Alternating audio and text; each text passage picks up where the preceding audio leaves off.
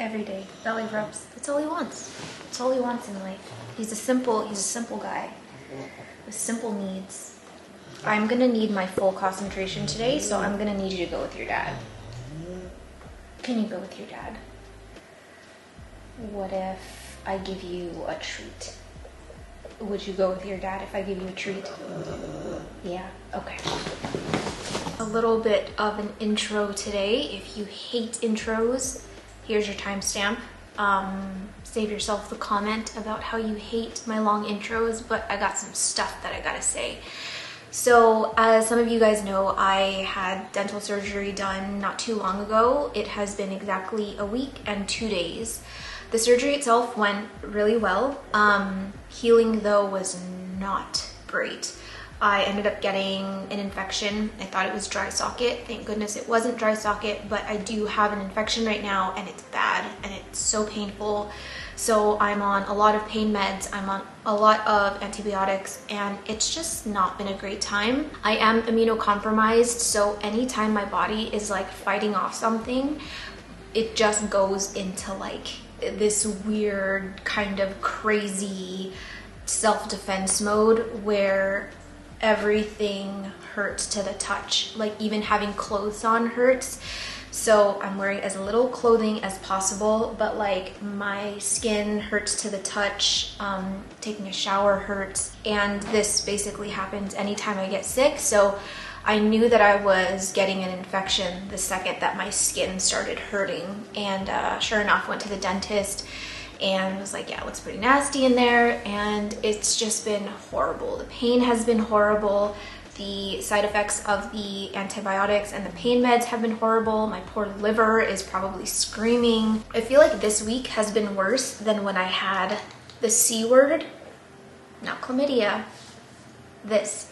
And um, I don't even know, why do people not say it? I wonder if they like heavily censor it, if it like catches that you say. Anyway, the C word, the C word that's not chlamydia it was worse, way worse than than that. So it's been a week. I've literally been in bed for I was in bed for 6 days straight. Like could not do anything for 6 days because I was just sleeping through the pain and um, it was awful. But I did manage to get through two seasons of Indian matchmaking and it's been it's been a journey. So anyway, um, I am here. I'm gonna try. I'm gonna try and film this video yesterday I had a psych appointment and that lasted about an hour and 15 minutes and by the time my appointment was done my mouth was in so much pain so we're gonna see how much I get through today um, I did pop some pain meds before this video to hopefully subdue or keep at bay any pain that might come from talking so much but with all that said I am back I thought about doing this series on my channel. If it performs well, we'll see what the response is once this goes up. But there's, a, if you're familiar with the Reddit universe, um, there's something called AITA, which stands for Am I the A-hole? And people basically share stories about things that are going on in their life and they ask if you think that they are the a-hole in the situation or if the other party is or if both of them are. And you can vote, you can chime in, and it's really fun. My husband kind of reads these little stories to me often, um, but I thought it would be interesting to see if there were like any plant stories.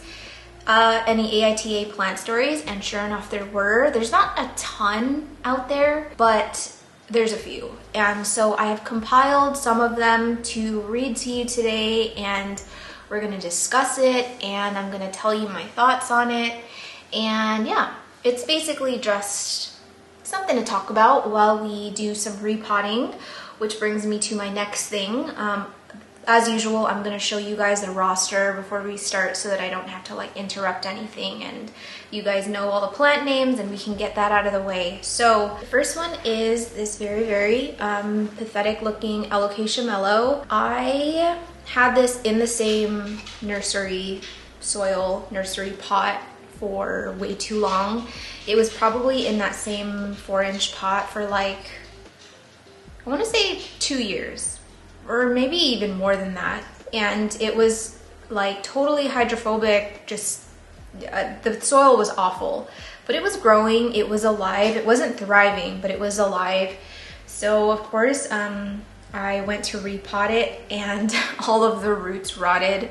So uh, I did transfer it to pond the first time. So I think I'm gonna try soil this time. I'm not 100% sure, but um, I don't really have a lot of faith in today's repot. Honestly, I kind of feel like it's gonna rot again, but we're gonna try because the roots are long now, a lot longer than I wanted it to be. I can see a few um, like potential corms wanting to start, but I don't know. We're gonna keep our, our fingers crossed for that one. The next one is this very, very sad and pathetic looking, I'm gonna break this off now since it's nice and yellow. This is the Anthurium Queen of Hearts that I acquired from Amanda. Um, this one has kind of just always struggled a little bit. I had a hard time rooting it. The new leaf, the first new leaf that came out on it, um, rotted, or not rotted, it just like opened halfway, like it unfurled halfway, and then one half of the leaf died. And I think it's just like from stress of being, I don't know, like chopped first of all, and shipped. Sorry, I'm I haven't really talked a lot in the last week, and my voice is just kind of cutting in and out. And I do have to speak a little bit more soft because I can't open my jaw all the way. Anyway, so this one just, you know, kind of went through it. It was chopped from her plant, then it was shipped, and then it was sitting in a box for like a week when I was at my mom's house, and then it was shipped, and then it traveled again to California. And throughout that whole process, that new growth point had been growing and growing. And so I kind of already knew that it wasn't going to make it but um, a new leaf has come out and it's so teeny and small. I'm just happy it's alive, honestly, but I don't really know what's going on under here. I'm not seeing a ton of roots, which I feel like I should see roots at this point. This one is not, I mean, I am gonna repot it, but I kind of just wanna get it into something with no drainage holes, something a little smaller, and um, I, I don't know. We just gotta do something because it's not really doing much in this, in this setup as it is. Next one is this um, Hoya polyneura, and this one has grown quite a bit in my care. Um, I really wasn't expecting a ton of growth on this right away, but it has like pushed out a lot more from these two strands. You can see some brand new leaves, and then it's also pushing some new um, growth from down at the base. I don't know what the tea is with um, repotting Hoyas when they have new leaves on the way, Part of me is thinking I should probably wait until these new leaves finish hardening off, but honestly, this one hasn't really stopped growing and it dries out so fast in this in this pot with drainage, even though like the pond is like super dense, there's like no perlite at all. Um, so we're just gonna risk it. I'm just gonna also trans, I'm gonna put this one into pond, but I just wanted to kind of get it out of here because I could see roots coming out of the bottom and I just kind of want to save as many of those roots as possible because I know they're gonna break. But yeah, this one is gonna be repotted today as well. Um, we're not doing anything with this Milano Melanochrysum today. I'm just seeing if um, someone wants to take this one off of my hands. Um, but I really am wanting to handle this uh, situation today. So this is my Homalomena humilis red velvet and some of you guys know that this was my first project of the year. I was um, attempting to grow it hydroponically. It worked. I didn't end up liking it though because of how dirty it gets and it just looks nasty. So I'm gonna get this one out of here and just get it into a regular, I don't know, I think I'm gonna do soil. I, I might need to like cloche it for a few days just to kind of like readapt it to not being in water, but am I expecting that one to crash and burn? Kind of. Um, but I hope it doesn't. There's a dead fungus gnat on this leaf. I have a real, a real bad fungus gnat problem right now. It's actually pretty infuriating. So um, anyway, this is another Amanda plant. I think this is a crystal mag it doesn't look 100% like a crystal mag because there's a slight bit of red in the venation, but um, it's just a really pretty crystal mag, I guess. And this one's in tree fern fiber. I know that the roots have rotted because there used to be roots that came out of the bottom of here and now there are no more roots. so I just need to like get this into something clear so that I can keep an eye on it, but I'm probably gonna keep it in tree fern fiber to continue to grow it. Um, but yeah, this one's more of like a, a rescue mission. So this is the philodendron bicolor mini purple that I got from um, Tropicals Plants in my last import. And this one I was just trying to root, which it has rooted now. And I do have roots along the stem as well, which is good because I did want to try and get this on a pole. I don't know if this sizes up because there's not a ton of information about it online. I don't really see that many photos. This is a terrarium plant, I believe, but I don't have a terrarium to grow it in. I don't know, if this plant sizes up, I mean, if it's able, if it does get any larger than this, which I'm sure it does, um, and it's nothing like mind-blowing or stunning, I might try and get it into some sort of terrarium situation just to like grow it or I might just give it away to someone who actually has a terrarium but I just wanted to just see and um, try and get it on a pole and size it up um, just to see what it could potentially look like. But we gotta get it out of here because it's been in here. It's been in here for way too long. Second to last one is my Decarya madagascariensis. This one's actually doing really well besides the fact that it perpetually has spider mites, which is like kind of weird. It's like there's really not much for the spider mites to feast on, but they love this plant. So I am going to unearth it and I actually might do like a full soak because I can see a bunch of webbing on here and um, I think I just need to like fully submerge it once and for all and get it out of this soil that it's in. But yeah, it's growing really well. Like you can see how much longer it's gotten. It was definitely not this long when I acquired it. It was kind of like barely coming out of this pot. So um, she's just kind of gone crazy and she's growing so many new growth points. Oh, I have heartburn. Um, people have asked me to do like a dedicated care video on this and I think I will. I just, don't, I don't know. It's, it's just been a really easy plant for me. It's not like my dedicated Micans video where I did have like a lot to to say about it and um, I had a lot, I felt like I had a lot to contribute in terms of like how to grow it really nice and full and lush. But this one, I, I don't have much to say besides give it like a sandy mix and give it light and water. The end. Last but not least, why didn't I take this off? Last but not least is one of my philodendron summer glories. If you have never seen this plant before, this is a cross of a philodendron gloriosum and a McColley's Finale hybrid, and it has easily become one of my favorite plants in my collection. This is the newest leaf on it, and it's definitely gaining some size. So this one is just in a little Tupperware. Um, I do think if I'm able today, I'm gonna chop it, but I should probably message my friend first before I chop. Let me just message her now. Whoa. And the reason that I wanna um, chop it is because I got my first, not this one, but I got my my smaller some I got my smaller summer glory from her um, it was the first Summer Glory I ever owned and it was a wish list plant and she um, let me buy it at a really, really good price and because she could have gotten more for it, I feel. And hers recently passed away when she went on vacation and so I told her that I wanted to chop mine for her if she didn't replace hers. Um, so I, I just want to message her really quick and ask her if she still needs one.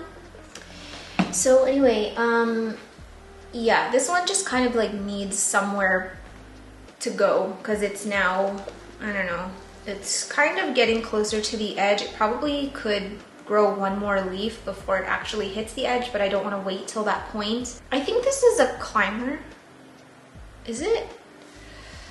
McColley's Finale is a climber, Gloriosum is a crawler. I feel like all the large um, summer glories I've seen are climbing. Have you guys seen the variegated Summer Glory. It is stunning. I'll put it in here. It's so, so pretty. I would love to have one, but at this point, they're just kind of like sports, I think. I can't really, I think they're climbing. Like they're sort of like self-heading. Mine was kind, mine is kind of crawling, but I can kind of see how the new growth looks like it could start um, self-heading or growing more vertical. Although I see some people with more mature plants that have it in rectangular planters and they are definitely crawling. Anyway, um, I think I'll have time to start one repot before my husband has to jump on a meeting and I have to be quiet. So we're gonna move um, into the kitchen dining area. I was gonna repot in my plant room, but honestly, it's really, really hot today. And even with the AC on, our top floor does not get cooled down really at all. So I'm here and um, yeah, we're just gonna get started. So one really awful thing about having an infection in your mouth is that everything tastes like garbage, like this. It's, I thought I had the C word, again, not chlamydia, I thought I had the C word because um, I couldn't really taste anything. Like my sense of taste was just like shot, it was gone. The only thing I could taste was just this constant, just gross, like one of the worst tasting things I've ever tasted in my life. And my mouth tasted like that for six days straight. And it still kind of tastes like that. It's just now my sense of taste is just lessened. And that gross taste is also lessened, but it's still there. But anytime I drink anything or eat anything, there's this just sort of like hint of just nasty taste. And it's, it's very heartbreaking because I eat for pleasure, not for survival. So eating is just not very fun lately. Anyway, I'm gonna start with this Hoya polyneura because that is what my heart is saying and it is one of the only ones that I'm gonna get into pawn, I think, maybe. I'm just hoping, Sherman, don't break this new growth. You have one job today, one job. So you can see all of these roots are coming out. I'm over it, I'm tired of it, and I wanna get them out. So um, we're gonna start with the first AITA.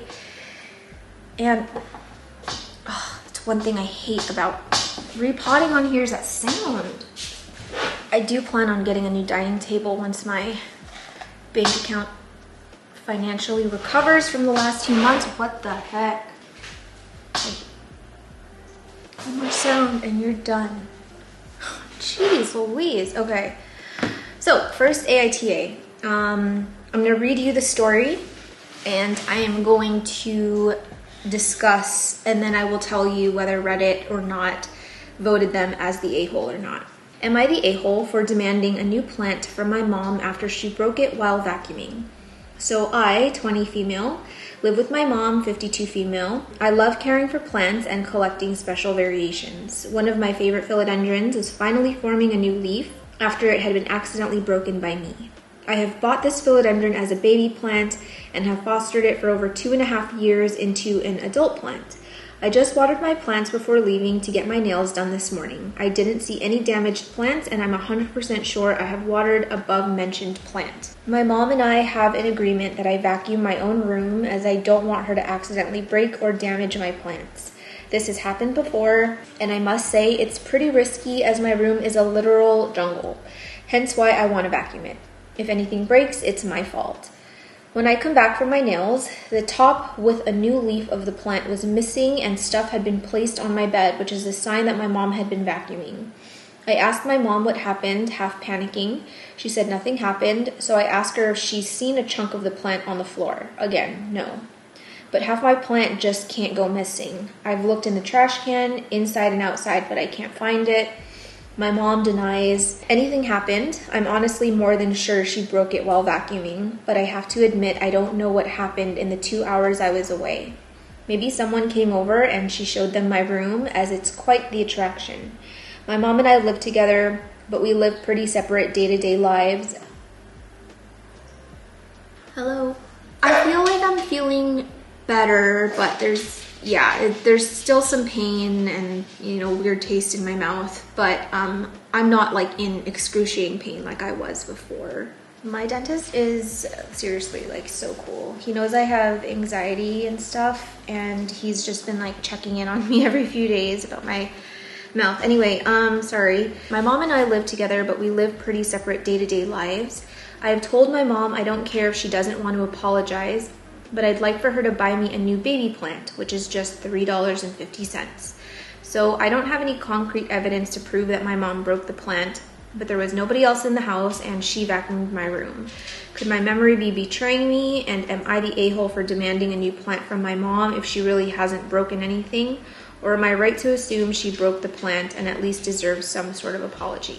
I feel like people are definitely gonna have mixed opinions on this. I guess my opinion, like I guess my gut instinct just by reading this off the bat, is she's being a very, very big baby. Like, I don't know. It's I think it's because it's like the nature of plants, right? Like if you break the top off, it's not like she just said she has a, a, mature adult plant. If you break the top off, sure it goes missing. Nobody wants the top of their beloved plant to go missing. But why do you need a replacement plant? And a baby plant at that if you still have the rest of the plant? It almost feels really petty to me to like demand a new plant from your mom because she broke the top off of your plant. It's like it's just weird, right? Like if someone broke the top off of one of my philodendrons, I would the first thing I would do is not be like, you need to buy me another one. I don't need another one. I still have the plant. You know, new growth is going to come from it, unless this person doesn't know that. But either way, I, I find it really weird to demand a new plant from your mom. Now, I could be, I could have this opinion because I have such a great relationship with my mom, and I would never in a million years demand a new plant from her just because she broke my plant. Not that I wouldn't be upset about it, you know, like if she broke a plant, especially if I asked her to like not go in a certain room or like I specifically asked her to not do something, sure, I would probably be annoyed, but I would just not, I would not go to those lengths to be like, well, now you need to like make things right and replace it, you know? I need to wash these roots, they're so gritty. For the sake of seeing a situation from both sides, though, um, I don't think that the mom is completely not at fault. Number one, um, I get if you're trying to like do something nice by vacuuming her room, but like no one's gonna fault you for that. But if she has specifically asked you to not vacuum her room and you do it anyway, I kind of feel like at that point it's sort of like an invasion of privacy and like boundaries. You know, like even if you're trying to do something nice and you have the best intentions, like she so specifically asked you to not vacuum her room for that reason like she didn't want she wanted to avoid the situation altogether. I also think it's crappy because we know that the top of a plant is not just gonna magically go missing right? She did say maybe she forgot that she broke the plant and then it went missing but I highly doubt for a plant that like is so beloved to her and like she obviously cares about this plant a lot. I feel like someone would remember if they broke the top off of this plant.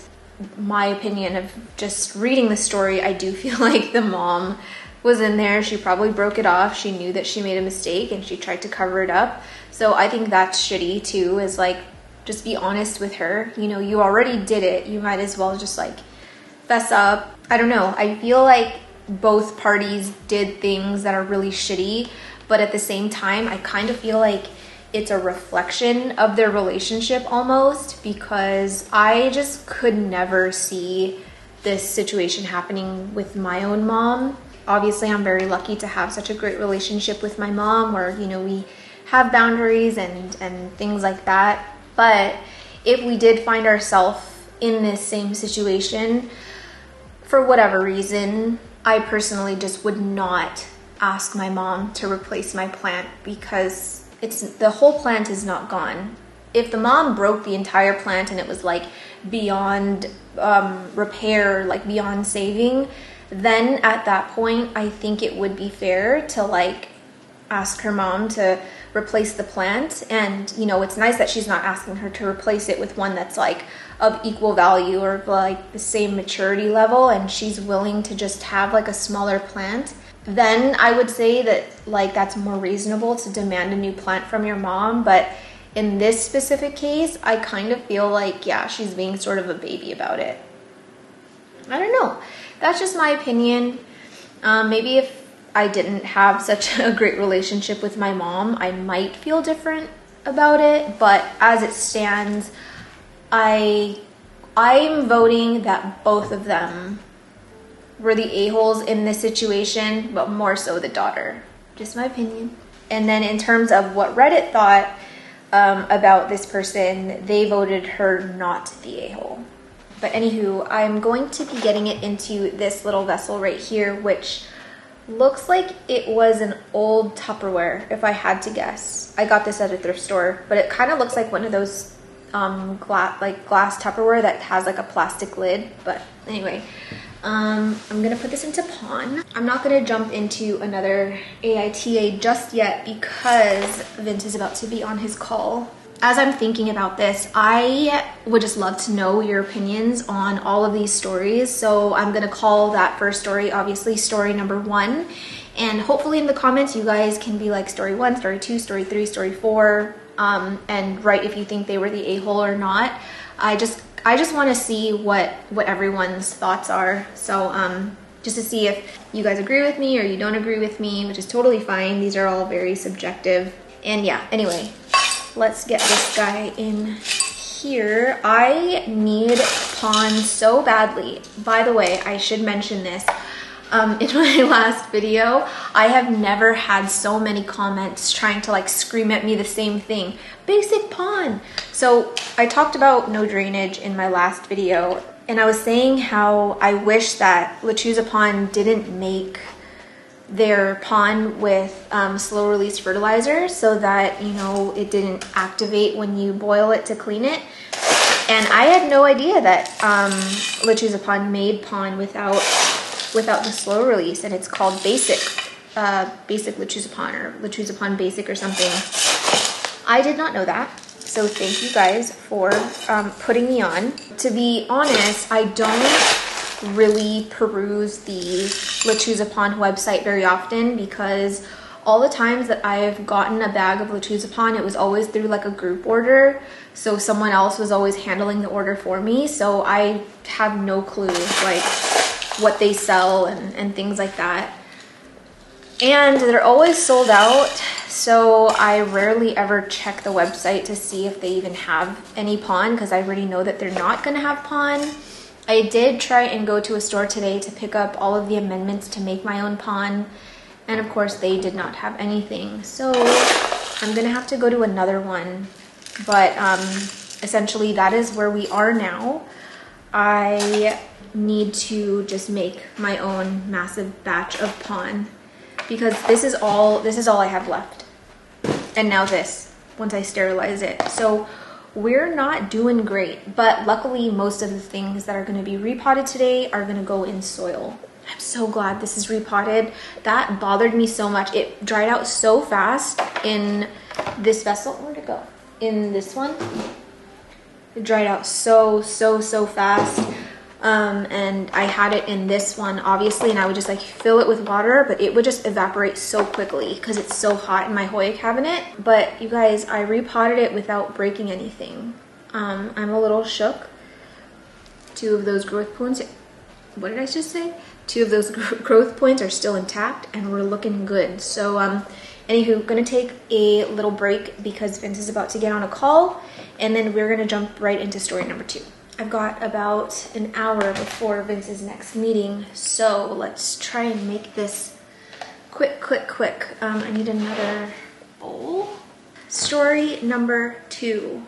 Am I the a hole for not taking care of my sister's plants? I, 34 female, and sister 38 female, both live in the same town. We've never been close throughout our childhood, and in the past, she has warned me not to depend on her for anything. Jeez. Recently, she started showing up at my gym, so I decided to try and start talking to her again. She started telling me about her life over the past few weeks. Um, and said she's going on vacation with her fiance. She asked if, since we're family, I would take care of her plants. I told her that I likely wouldn't be able to as I have a job and a cat that I already look after. She sort of laughed it off and told me that when I'm over, I would need to clean up a bit too. I rolled my eyes at her and went home. She left a week ago and came back yesterday and has been blasting my phone with messages saying her house is trashed and all of her plants are dead. I never went in her house, but I feel as though I should have checked just once to make sure her locks were working and to care for her plants since she's my sister. On top of that, I don't really know what happened to her house, but she lives in a bad neighborhood, so it might have been a break in of some kind. I feel bad for her, but I don't think it's completely my fault for what happened. Our mom is on my side, but my dad seems conflicted as he believes family must do everything for each other. Let me stop you right there and say that you don't owe jack crap to anyone, even if they're family. I feel so passionately about this. Um, there are absolutely no roots. What is this plant doing? Guys, it's been in this vessel for so long. Not even, not even a glimmer of a, of a root. Well, that surely was unexpected. I mean, I expected something. Anyway, you don't. I, I really think that um, it's such toxic mentality to assume that just because someone is family, that they're entitled to your time, they're entitled to your love, they're entitled to your respect, um, they're entitled to anything the only thing that you guys share is blood and genetics. That does not give you any kind of special privilege um, to someone. That doesn't give you any kind of special privilege, honestly. And I think this is a hard thing that people grapple with, whether if you're on the receiving end or not. It's like you sort of naturally feel like you have to take care of your family members, you have to forgive them, you have to you know try and meet them halfway but the truth is like toxic people are toxic people or people who don't put an effort into your life or contribute nothing to your life you don't owe them anything i firmly firmly believe that i have no problem cutting off family members who don't serve me in a way that is beneficial to my life. Not that all family members need to be doing something beneficial to my life, but meaning like if you're a toxic person, I don't like the vibes that I get from you, then that we don't need to be in each other's lives and that's and that's how I feel and how I will always feel. So in this situation, um, it sounds like the two are basically like kind of estranged, but I feel like the sister who went away on vacation with her fiance, I feel like this whole, you know, reconnecting with your sister thing or whatever was very like selfish and self-serving because she needed something and it wasn't because she would ever re- like repay the favor or return the favor and it's not because she like felt like she could I don't know, trust her more than anyone else. I feel like it was convenient for her, so she jumped at the opportunity to have her sister um, take care of her plants. I don't know the details of their relationship, but the whole thing kind of sounds weird to me. It's like you have this sister who you don't even like, you're not close with, you don't talk and stuff, but then all of a sudden, like, she wants you to take care of her house and like take care of her plants. It's weird to me. It's super weird to me. Like usually if two sisters are reconnecting or two family members are connecting I feel like you should start with like coffee first or like lunch or something a dinner not just straight up like hey i saw you at the gym. I'm going away. Can you like take care of my apartment? That's weird. That's super weird Now, I will say though that I think that the sister, the other sister, should have at least communicated with her other sister to tell her, I'm not coming over. I mean, it kind of sounds like she told her she was going to be busy, but maybe didn't explicitly say, I am not going to be coming to your house. I did think it was strange though that she mentioned, like, oh, I guess I should have told her that, like, or I guess I should have checked if the locks were working. it's such a weird, that's such a weird thing to to ask of someone or that's a weird thing to expect from someone. Like if i was going away for a long period of time i would never like ask alice to come here and be like hey can you make sure my lock is working? Like i just assume that my locks are working you know what i mean? Like it's so strange to assume that maybe it wasn't.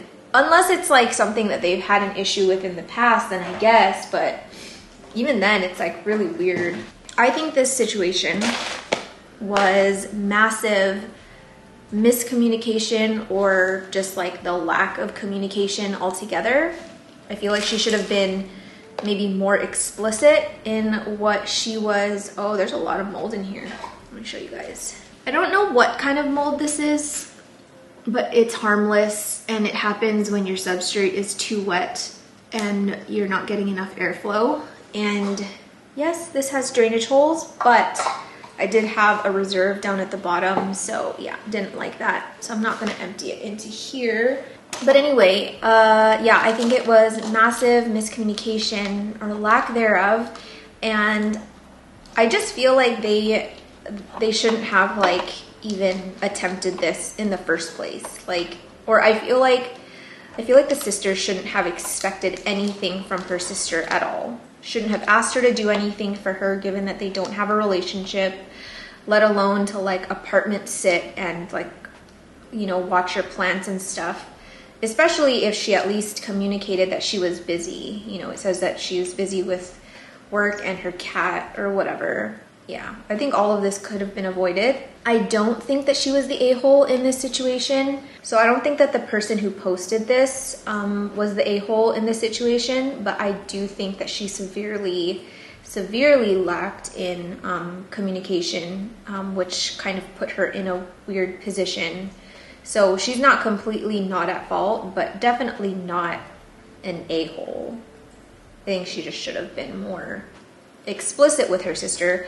But also, if her sister was expecting that, like, her sister was gonna like stay at her apartment and make sure that like nothing bad happened to the apartment the entire time she was gone that would have been, I don't know, kind of a lot to ask of a sister that you don't really have a relationship with, especially if, like, you know, it's not in a great neighborhood.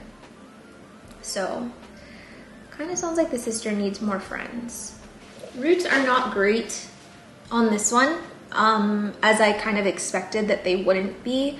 I'm sort of tempted to get this into perlite or tree fern, like back into tree fern fiber with added perlite. I don't know. It hasn't been terrible in tree fern fiber. It's just this situation was not ideal.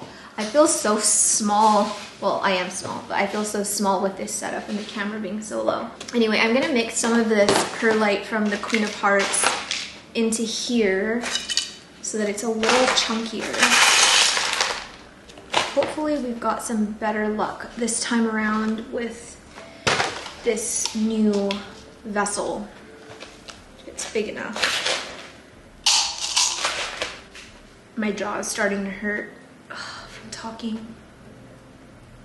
I don't know if I'm gonna be able to get through this, you guys. And I'm supposed to be filming for the next three days because guess who's going to California next month? Me.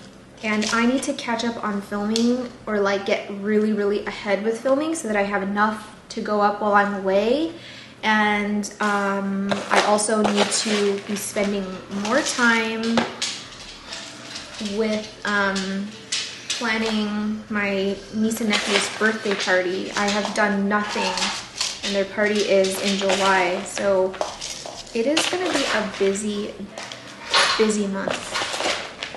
And getting this wisdom tooth out happened at the worst time, but honestly, I think there was never gonna be like an optimal time to get that tooth out and it has been bothering me for a really long time.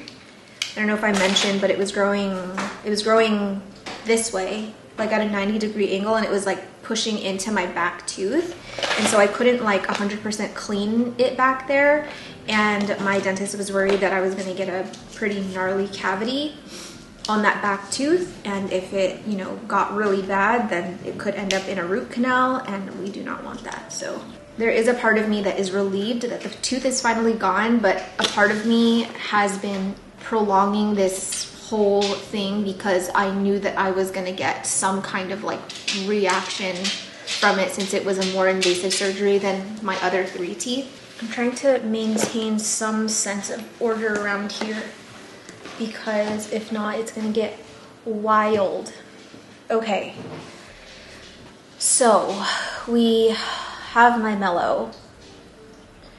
Soil or pon? I tried pon before, it did not like it, but maybe that's because I had bad juju and I repotted it during Mercury retrograde. My heart is saying pon because I don't grow alocasia in soil. I just don't. I don't. I don't. I don't. We're gonna do pon. Okay, I'm gonna say this on camera. If this rots in pon again, the next time it's gonna go in soil, okay? Next time, not this time, next time. Okay, let's do another. Oh, um, by the way, that last one, uh, story number two, Reddit voted her not the a hole. Story number three Am I the a hole for taking back a plant somebody else saved? I bought a house plant, some type of pothos, from Home Depot. After about a month of it being in our home, I started noticing little fly like bugs living in it. I grew up in the woods, so bugs don't really bother me, but my husband immediately made me throw it out. Instead of throwing it out, I put it down in the laundry room so at least other people could enjoy it. Over the past year or so, it looks like someone has been watering it regularly and it is thriving. I decided to take the plant back upstairs into my apartment because the bugs are gone and it is, after all, my plant. Am I the a hole for taking it back? Well, you're. you're not. Okay. You're not an a hole for taking it. You're not an a hole for taking it back. Pudge thinks she's an a hole. The cleaning lady is vacuuming and he's not happy about it. So um, you're not, I don't think that she's an a hole particularly because she took the plant back. I think the a hole move was putting a fungus gnat ridden plant in a public space in the first place. I just feel, I feel like there's like a certain like unspoken sort of etiquette that us plant parents should follow um, when we are rehoming plants. And to me, it's like to do your due diligence. One of those rules is to do your due diligence in trying your best to not pass off a pest infested plant. Nobody really can guarantee like that a plant is 100% pest free, but if you're at least trying to make the effort to like give it as clean as possible, I, I think that's great.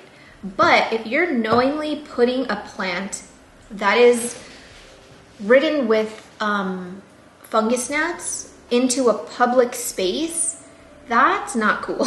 If you are intentionally, though, passing off this plant that you no longer can keep because of the pest issue and you put it into a public space, I feel like that is just such a crappy thing to do. This person says they wanted other people to enjoy it, but I feel like that is you just assuming that the people that will be enjoying it in this common area or this shared laundry space, like, first off, even like likes plants, but like, I don't know. I feel like the last thing that I need when I'm doing a chore that I already hate doing is having fungus gnats fly around me as I'm doing it. I feel like the bottom line here is that you shouldn't have put a plant that was um, infested with fungus gnats in a public space to begin with. I think it's one thing to rehome it um, to someone else disclosing what the issue is and then they can make that decision whether they want to rehab it and take it in or not. But it's another thing to put it in a public space and sort of make it other people's problem. Um, because you, for whatever reason, just didn't want to throw it away. I mean, she says that she put it in the laundry room for other people to enjoy, but that's making like a very like large assumption that people are going to be enjoying this plant. Some people probably don't even care about plants. I mean, there are people out there who don't give a flying F about plants, especially ones that have gnats flying at their faces while they're trying to do laundry. So I just, okay, I just feel like if a plant has pests, if you're not willing to throw it away, if you're one of those people who just truly cannot be bothered to th- not be bothered, but you don't have it in you to throw it away, because me, I am not one of those people. If a plant is bothering me for any reason, I'm at a place now where I'm like, the trash, that that's where you live now. But there are people who are just like vehemently against throwing away plants. And if that's the case, and you are one of these kinds of people and you just you couldn't get yourself to throw it away. So you thought the next best thing would be to put it in a you know a public space. I'm going to stop you right there and say don't do it. Because it's a shared space i feel like you have you have to take other people into consideration. And this is going to kind of go off topic for a little bit but it's sort of related. It reminds it reminds me if you guys are, you know, if you've been on this channel since I started, um, you'll know that I got into some drums, some drama with um, my neighbors in 2021. Long story short, I'll post that video in the comments so that you can get like the full story. But long story short, a bunch of these kids used spray paint chalk all over the picnic area of our park. And this is um, the only covered area of the park where like the, the bench, the concrete benches are, people rent it out for parties and stuff. I don't have an issue at all with kids playing with chalk at the park. It's always like tagged up with, you know, drawings and stuff. And I think it's really cute. I think it brings a lot of character to the park. But they used this kind of chalk spray paint that looks nothing like chalk. It looks like spray paint. And they tagged, they, I mean, they were drawing all over the floor. They drew on the benches. They drew on the little pillars. And it just looked crazy. It was like, it looked really, I don't know, it just did not look great. And I posted in like our neighborhood group and was just like, hey, like, I, I don't know who like did this, but um, you know, can we not do this in like public, like common areas, like keep the chalk at the playground?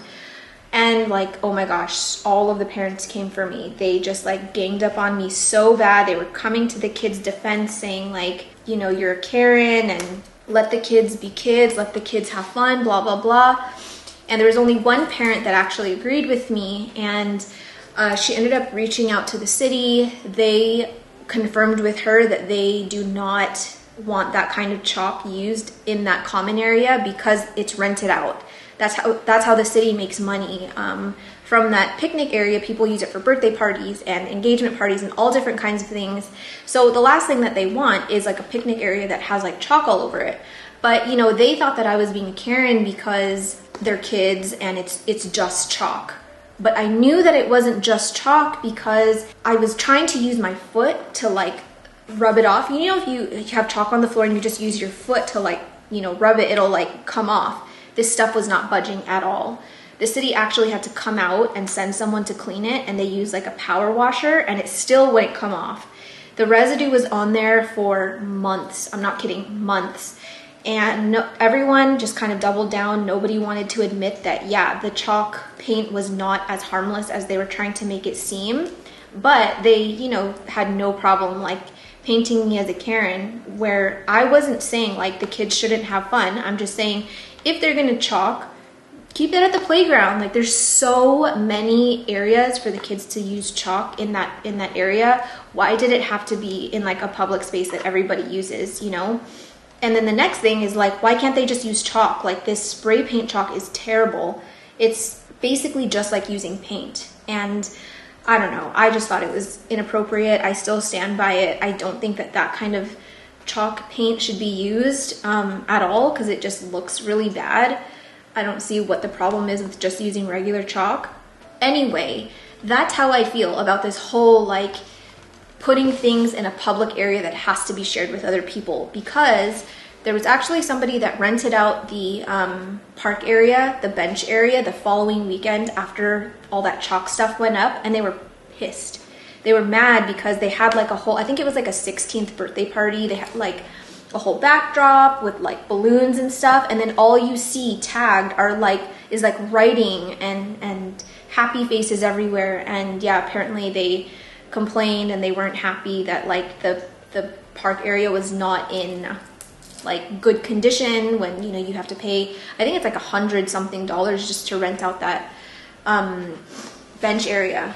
But i digress. All of that to say i feel like it goes along the same lines where like you just assume oh my kids are having so much fun. My kids they like i love seeing my kids drawings and i love seeing my kids art and stuff and so yeah put it in a public space and you're just gonna assume that like everybody wants to see it I'm sorry, but like, I don't care that your kid can spell Ryan was here.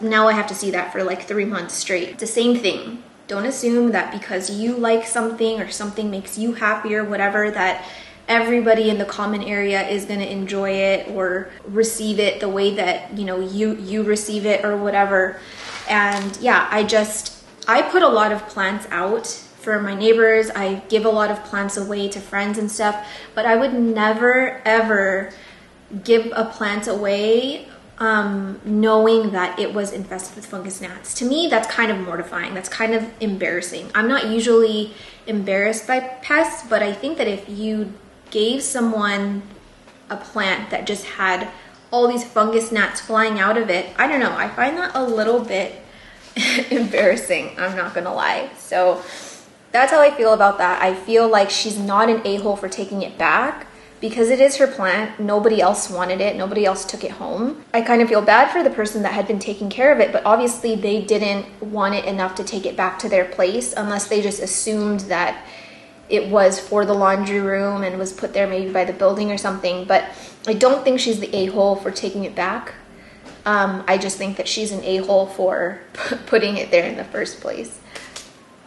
Anyway, I need to chop this. Um, my friend Krista didn't text me back yet, but if she does not need another summer glory, then I'll just I'll just sell this this cutting.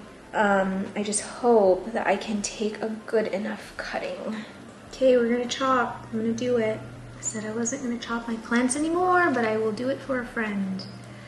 Um, it's not like the best cutting, but it's truly the only place that I can cut it, and at least she'll have several nodes to work with should anything happen to it. That's not bad at all. Look how cute it is. It's like the color of wine. I miss having wine. I'm not supposed to drink while I'm on all these meds and stuff, so Anyway, here's her cutting. Um, you can see it's got a good amount of stem. It's about three inches long. One, two, three, four nodes and one leaf. It's not the best leaf. I would have liked to give her maybe something like this, but um, this is unfortunately the best I can do at the moment. So I'm gonna get this into, whoa, I'll just put it in here since I'm trying to get rid of my plants, I mean my pots with drainage holes. Um, also, going back to story number three, um, Reddit did say this person was the a-hole for taking the plant back and the comments were saying that she was an a-hole for putting the plant there in the first place too. I'm gonna dip this guy in some callus. Oh, actually, this one is fine because I'm not gonna bury that but I am going to dip this into some callusing hormone. Sorry if you guys can hear my dog honking in the background. Okay, let me redo this next AITA. So this is story number four. Hopefully I'm getting the numbers correctly. I think this is number four. So am I the a-hole for complaining about my apartment neighbor's plant?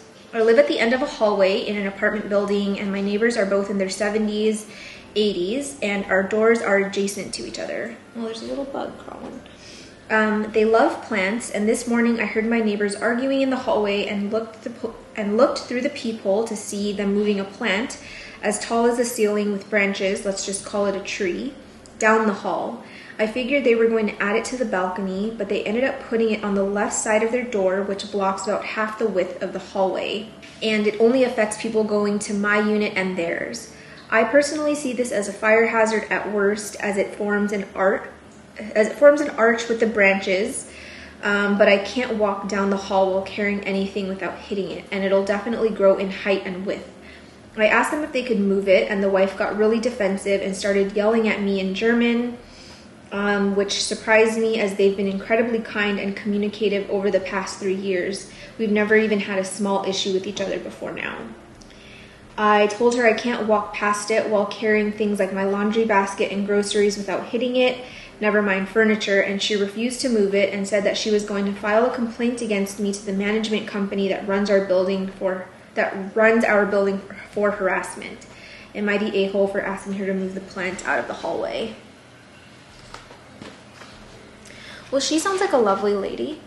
I think, honestly, this goes back to what I was saying the first time about being mindful of common common areas even if it is like directly in front of your property or in front of your building. Like even if it is technically in your entrance it's still in a common area. It's in the hallway and um, I personally like would love to have a plant out in the hallway. I mean, we're not allowed to, but if we were allowed to, I probably would put a plant out there. Um, but I would never put one that would get in the way of our neighbors adjacent to us. Um, that like it would obstruct them from getting in and out of their apartment. And as someone who has been living in an apartment over the last several years, we kind of have to do things differently. You know, I'm lucky that in my unit I have a washer and dryer and I don't have to like use a common laundromat or whatever to, to do my laundry. But we do have to use things like carts pretty frequently when we're taking out garbage, taking out recycling, um, doing groceries, or, you know, if we go shopping at all, like if it's a lot of stuff, it's not like we can just like bring it into our house through our front door. You know, it's we have to go through arcade, we have to go through the elevator, we have to go through the hallway, and so not being able to like free, freely move around the carts through the hallways would be kind of annoying because it's already sort of an inconvenience to live in an apartment as it is but to have to like navigate around people's stuff is another thing when I first moved into this building, a lot of people had, myself included, we had doormats. And people had all different types of doormats, all different shapes and sizes and stuff. And one day, um, we got a notice from the building basically saying that everyone had to get rid of their doormats in the hallway. They were just not allowing doormats anymore. And I was kind of annoyed because I did like having a doormat there to like wipe our shoes off before we came into the house because now we're tracking in a lot more things, you know, from from outside. But I also noticed that once all the doormats were gone, it was so much easier to like haul our little um, cart through the hallway um, because we weren't having to like swivel around um, to squeeze through like all the different doormats. So I I understand, you know, how much of a, I guess, luxury it is to have like a wide hallway with nothing obstructing you. But if my neighbor next to me always had something near my door that was like preventing me from bringing things in and out um, freely, I would definitely, definitely be annoyed. Here's the pot that I have. I was going to make this into a succulent garden for my balcony, but I'm kind of rethinking the succulent garden idea because I don't want to have to bring it in over the winter. So I think I am gonna just pot this guy in here and I'm gonna treat it still like it's crawling. and we'll see if it just kind of continues that way or if it starts to climb. But either way, I think that this vessel is what I want to go with. Now I know that it seems very, very large in comparison to the um, size of the roots, but also keep in mind that this is very shallow. My mom had her, or has her gloriosum, her big gloriosum potted in a pot just like this, and it's doing really well. So I don't have very many um, things potted and things like this. Um, I used to, but not at the present moment. But I have done it before and it's been fine.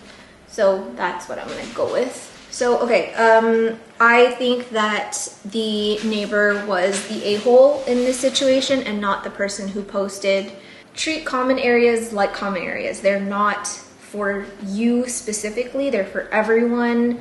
So none of your belongings should be in a common area that would be um, an inconvenience to someone else. So yeah, especially if you're putting like a whole tree out there. It's one thing if you're gonna put like a little tiny plant in front of your door, but like a whole tree, like that's kind of much. And um, Reddit voted that she is not the a-hole. Story number something. Throw it up here because I forgot already. Story number four, I don't remember. Am I the a-hole for not feeling remorseful and responsible for my girlfriend's favorite plant that died? Me, 27 male, and my girlfriend, 26 female, who I've been living with for eight months, feels that I'm partly responsible for her dead plant. She went away for three weeks, and then I joined and we traveled for two weeks. When we came back, she found out that her favorite plant died and was very upset about it. When I went to comfort her, she expressed frustration and anger toward me for her plant dying. I responded with frustration that she didn't give me any instructions to water her plant or look after it when she left. She felt that I should have paid attention to it and noticed that the plant was dying. We spoke about it the following night when our emotions had cooled, and she apologized for putting the blame on me, but still felt that I was partly responsible for the plant dying and was frustrated that I didn't feel any remorse. I had very minimal awareness of the plant's existence, and she didn't once tell me to take care of it, so I'm finding it difficult to see it from her point of view. Am I the a hole for not feeling remorseful and responsibility for the death of her favorite plant? I like this one. I like this one because it's very relatable. I feel like um, after living with my, well, I lived with one boy before Vince. I lived with my ex boyfriend, um, who I dated before Vince. We lived together for about a year.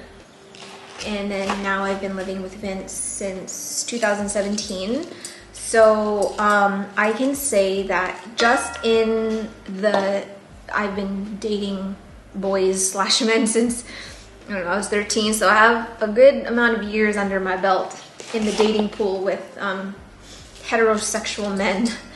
And um, I can say that with like absolute certainty, and this is again, please don't take this offensively, not all men, okay? Not all men, but a good majority of men do not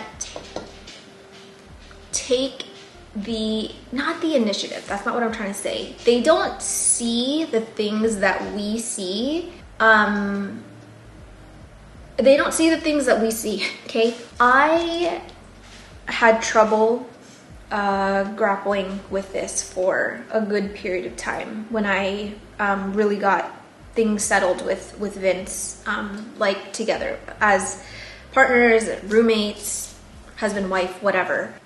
I want to word this very carefully. Be careful, Sherman. Tread lightly. um, more so than not, I feel like in most household, in most households, there's one person that sort of steers the ship. Not we're not talking about finances, none of that. We're talking about, you know, there's an ecosystem to everyone's home. Everyone has their way of doing things, of keeping order. There's schedules that need to be followed sometimes to make sure that everything flows smoothly.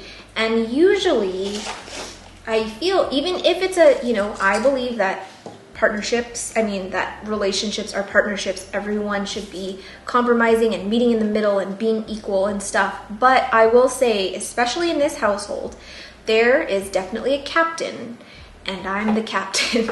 I'm the captain of this house because I know where everything is. I decorate the whole place. I'm the one that really is always sort of neurotically cleaning. I am the one that makes like the grocery lists and lists for things we need, like batteries and soap and all the things that, you know, keeps the household moving. I think you guys get what I'm saying. I, I feel like you know what I'm talking about. Whew. Um, jeez, it hurts. The captain of the ship tends to see things that need to be done more so than the other person. And sometimes that second person in the household doesn't they they just it's like they have goggles on, like they don't see the dust, they don't see the dead plants, they don't see the fur that's, you know, on top of the media cabinet, stuff like that. And it can get frustrating. I'm speaking from firsthand experience. Love you, Vince, but you know he he's well aware. We've had our we've had our issues, worked through them, working through them. It's a work in progress. It's it's we're always we're always we're always learning here. The captain next to me. um, okay. Uh, God, I need to write down my thought. Say I'm the captain. I just called you captain because you're the captain. I'm the captain. Okay, I need but to. I'm the owner. I'm joking. That's a sports analogy. That's a sports analogy. There's- Okay, so um, as I was saying, all of that captain talk was just to say that sometimes our partners don't see the things around the house that seem obvious to us. And I can say from personal experience, this has definitely been a point of tension in our relationship when we first um, started living together. And I think this is something that I definitely want to speak more of in depth um, on my vlog channel because, you know, we are very open about it and um, it's not something that we feel like should be a secret. Um, we're not perfect and I don't expect perfection out of this relationship, but that is definitely something that I struggled with um, when I first started living with him just because I was so used to either living on my own or living with my family and like we didn't really have well we did have these issues but you know it's it's different when it's your when it's your partner. So um in this scenario specifically i'm not surprised at all that her boyfriend didn't even think twice about the plants or about the plant. And from personal experience i would never go away on a trip and just expect that Vince is gonna do everything in the house that I normally would do before I leave for a trip. Um, I would never really even expect that of him. I would be super explicit. If there was something super specific, like a plant that needed to get um, watered before he left, I would literally like put it as like a Google Calendar reminder make sure that it gets done. It's not something that I would just like assume is going to get done, especially if it's not a chore that he does regularly. So I, I feel like this was um, mostly the girlfriend's fault for assuming that her boyfriend was going to take care of it and not being very specific about her expectations while um, she was away for her leg of the trip before they met up. Um, but I mean, I'm not gonna say that like he should be remorseful because it's like, how can you be remorseful about something that you didn't even know was a responsibility of yours? I don't think that it's fair that she should expect him to feel guilty or feel any kind of like responsibility for it um, since it's her plant and she didn't even tell him to water it. But I, I, I feel like at some point, you know, you know she's upset, you know your partner's upset. I would say like just validate her feelings and be like, I understand why you're upset. I hope that you understand where I'm coming from and it's not that I don't care about you and the plant that you care about, but like you weren't specific. It kind of sounded like she was upset because he's just kind of brushing it off like, oh, well, it's not my fault, that's your fault, you know? I think what she's looking for is just a little bit of, I don't know, sympathy or empathy. Which one is it? Sympathy? Empathy? She's just looking for a little bit of like something from him and she's not getting it, which is why I think she's upset. I want to believe that there's a part of her, at least a small part of her, that feels like it's her fault too, or sees where she um, contributed to this situation even happening at all. I would hope that she's not like 100% adamant that like this is her boyfriend's fault and could have 100% been avoided if he had just done so so X X and X. Um, gosh, this looks crazy. But she's, I mean, it's crawling hopefully it figures itself out because it's kind of funny right now. But um, I do think she's going to like life in here. We just gotta figure out where these leaves are going. For my Decarya madagascariensis, I'm using more of a cactusy mix. It's like really, really gritty, really sandy. Lots of pumice, lots of pon in here. And um, yeah, it's just a little bit different than my typical aroid mix. Oh, you know what I'm gonna do? Okay, I'm gonna unpot this.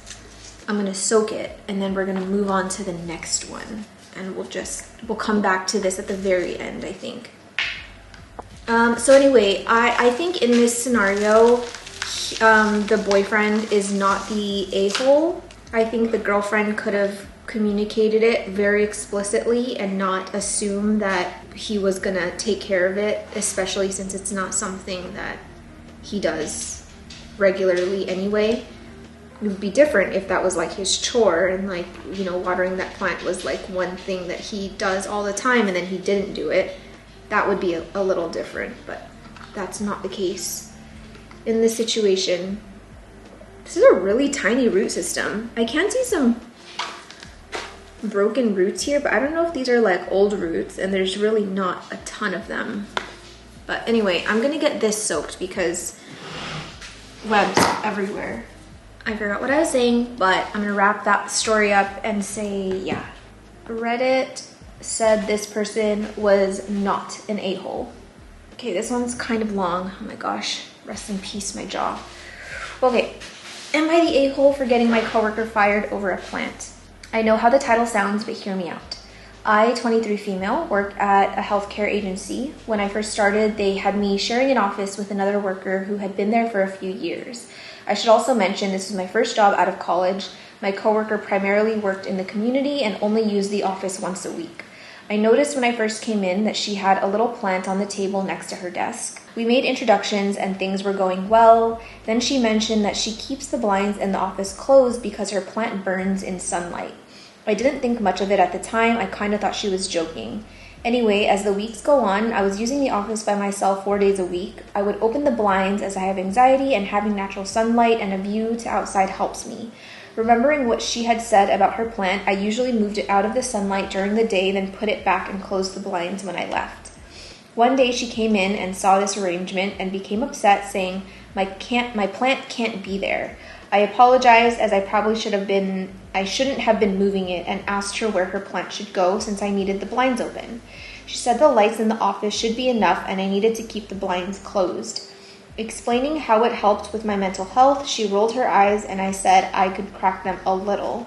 When I got back from lunch, there was a note on my desk that said, Keep the blinds closed, thanks. And she walked in, cracked the blinds, and said, This is as good as it's gonna get. I hate confrontation, so I didn't say anything else. After talking with my friends and family, I went to my boss who said she would handle the situation. A few more weeks went by, and I would just open the blinds and not touch the plant.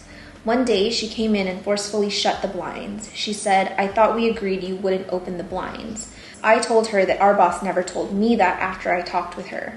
My coworker told me that the plant was special and had been passed down by a lost friend. I, I said I was sorry about that, but I needed the blinds open for my mental health and asked if she could bring the plant home instead. She said, No, I don't have any room at home. Mind you, this plant is small. The conversation ended with us deciding to talk to our boss. A few a few days later, I have the blinds open again and I had moved her plant because my anxiety about the situation had gotten so bad. I was worried the plant would die while I had the blinds open. I'm on the phone with a client when she suddenly barges in and starts cussing me out, saying I shouldn't touch other people's things and I was a. My boss walked in at the moment and I escaped to go cry in my friend's office. After being suspended and making more comments at me when she came back, an investigation into the situation led, led to her being fired. I know I probably escalated the situation by moving her plant, but should I have handled this differently? So am I the a hole.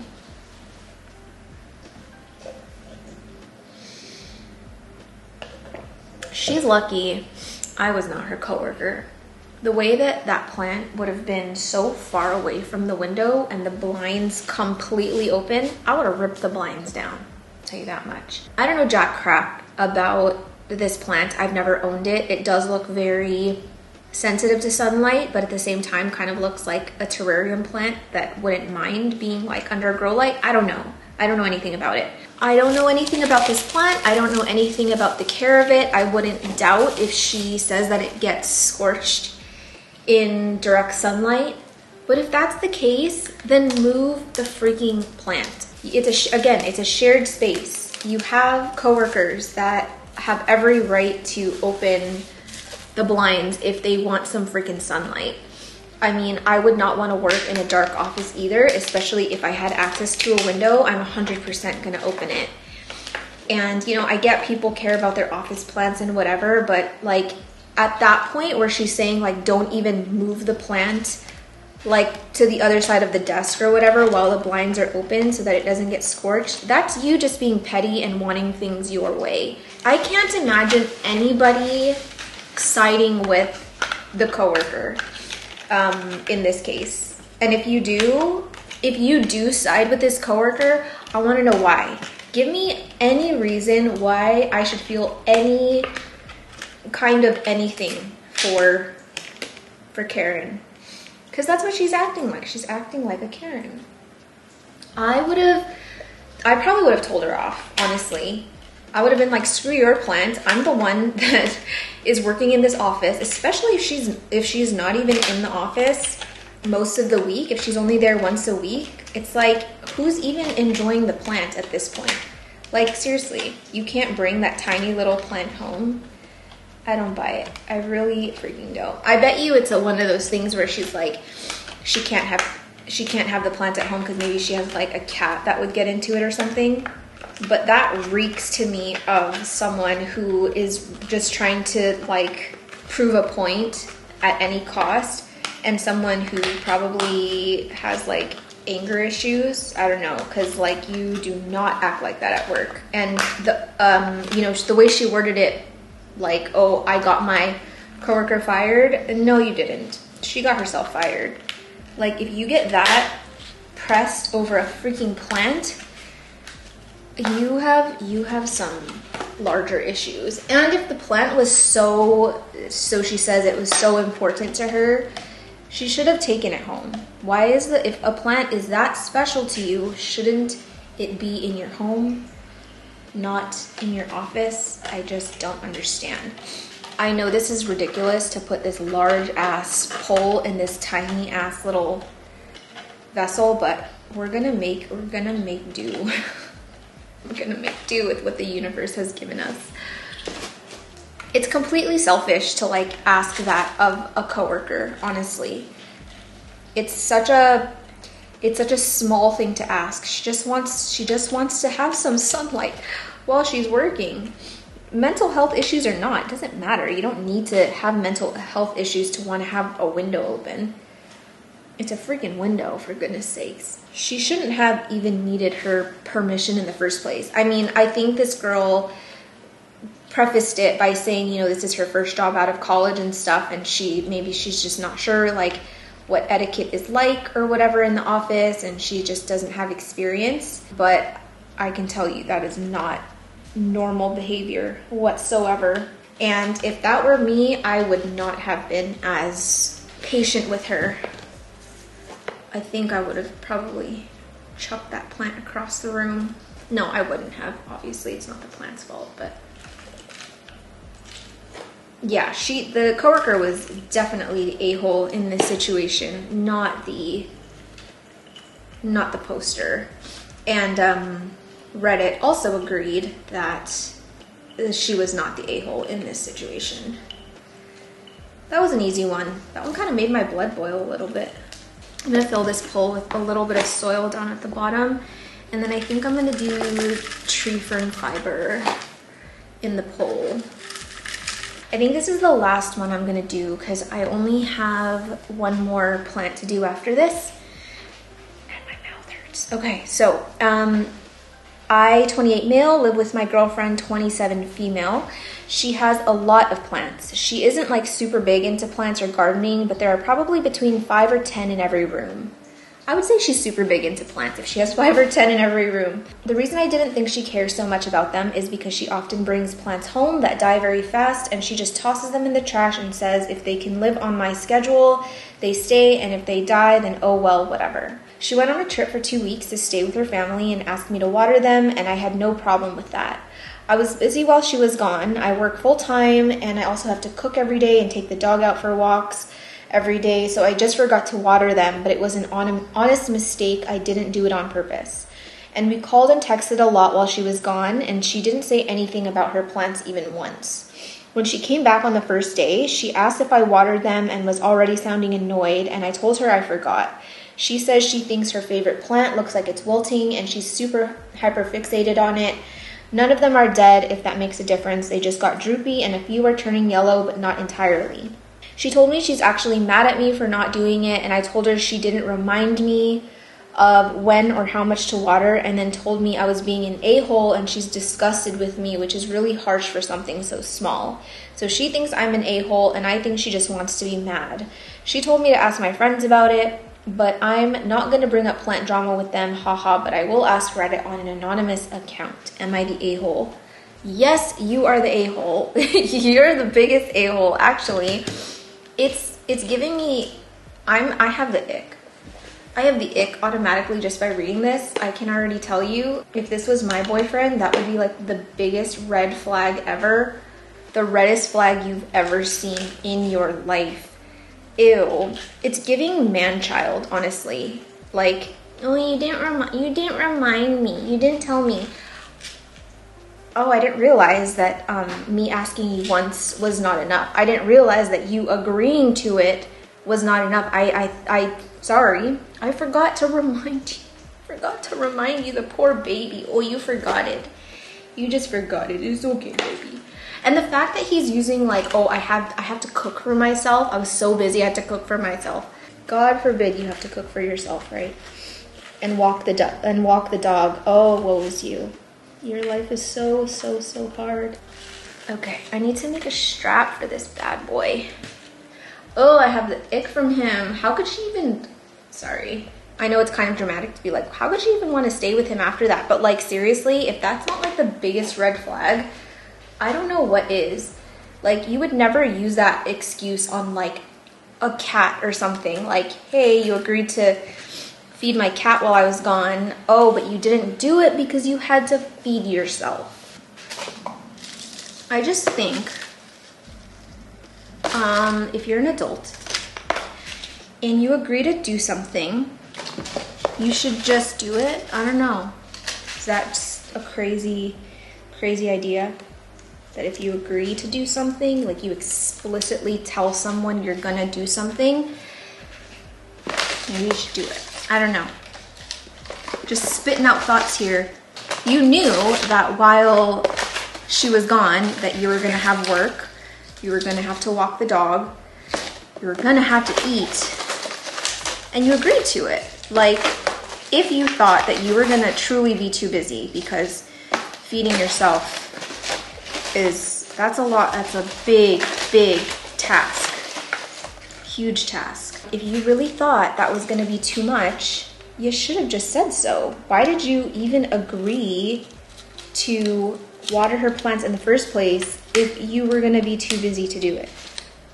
Then just don't do it. And don't try and throw it back at her that she didn't remind you. Why the hell does she have to remind you to do something that you agreed to? Does your work have to remind you to come in to work? No.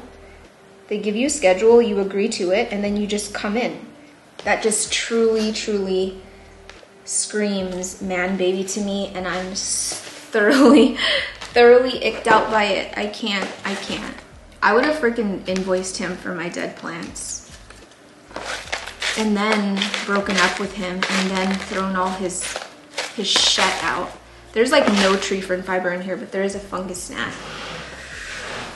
All right, I have made a tree fern fiber moss mix. Ow. Yeah, I, I just could not emphasize enough how much of an a-hole man baby this dude is. And I promise you, if this was my situation, he would not be my boyfriend after that trip. Go in.